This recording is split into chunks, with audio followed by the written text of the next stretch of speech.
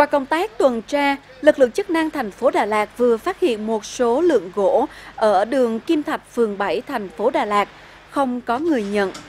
Qua kiểm đếm có 25 hộp gỗ dỗi thuộc nhóm 3 với tổng khối lượng 2,6 mét khối.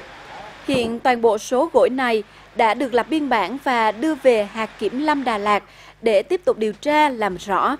Trước đó, Công an huyện Lâm Hà cũng đã khởi tố một vụ án và khởi tố 14 bị can liên quan đến vụ khai thác rừng dỗi tại tiểu khu 224, xã Phú Sơn, huyện Lâm Hà, gây thiệt hại là 37,5 mét khối. Khu vực rừng dỗi bị phá, giáp ranh với địa bàn thành phố Đà Lạt. Hiện vụ việc đang được cơ quan chức năng điều tra làm rõ.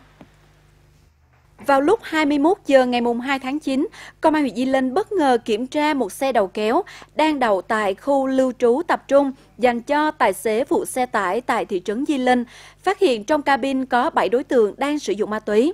Tại hiện trường, công an thu giữ một đĩa sứ màu trắng có chứa chất bột màu trắng mà các đối tượng khai nhận đó là ma túy tổng hợp.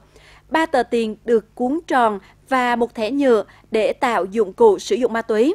Bước đầu, công an xác định lái xe Huỳnh Ngô Thế Kỷ là người mua ma túy và rủ thêm 6 lái xe khác trong khu cách ly cùng sử dụng. Hiện Công an huyện đang tiếp tục điều tra làm rõ hành vi tổ chức sử dụng trái phép các chất ma túy.